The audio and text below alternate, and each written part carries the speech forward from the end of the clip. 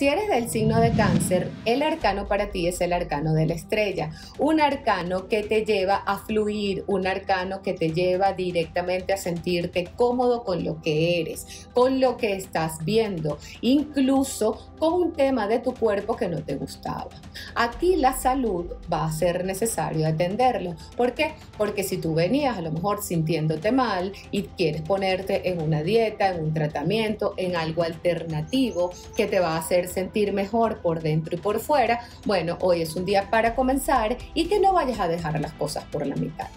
Para cáncer, la carta de la estrella dice, es cuestión de que te sientas bien por dentro y por fuera antes de que se acabe el año. Mira que viene una época donde podemos hacer ciertas travesuras, pero para cáncer el movimiento físico va a ser sumamente importante y en una semana de desintoxicación o de alimentación balanceada vas a ver cómo incluso los dolores se te pueden pasar.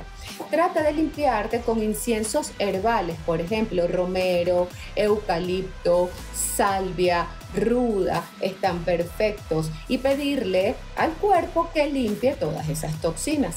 A través de la carta de la luna te dice la energía hay que resetearlas para que llegues al momento perfecto. Fíjate que por todos lados te están diciendo depurar y reconectar.